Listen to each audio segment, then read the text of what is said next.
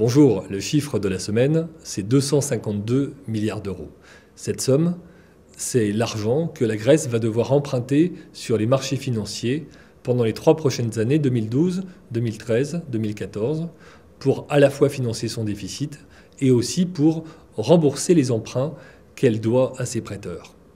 Ces 252 milliards, ils sont financés par la croissance en Grèce, mais c'est seulement 30 milliards d'euros. Donc il faut trouver 222 milliards.